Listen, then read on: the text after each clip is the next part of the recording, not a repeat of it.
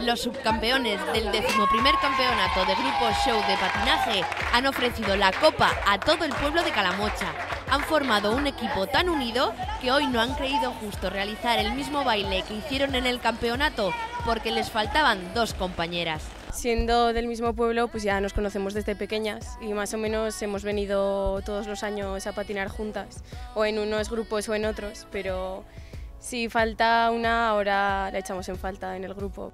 Estos chicos que competían en la categoría Show Grandes del Grupo B están muy orgullosos del puesto que han conseguido. Han trabajado muy duro para ello y han obtenido su recompensa. A pesar de esto, aún aspiran a más.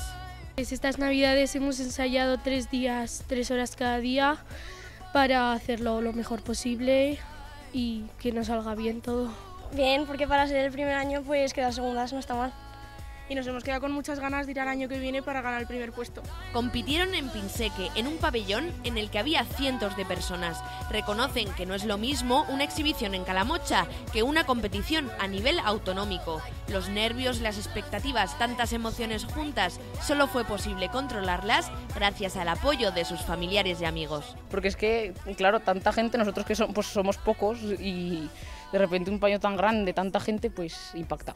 Estaban nuestros padres, y había amigos y eran los que más animaban. Estos jóvenes han traído un nuevo éxito a Calamocha y a la comarca del Giloca, demostrando que tenemos deportistas de primer nivel.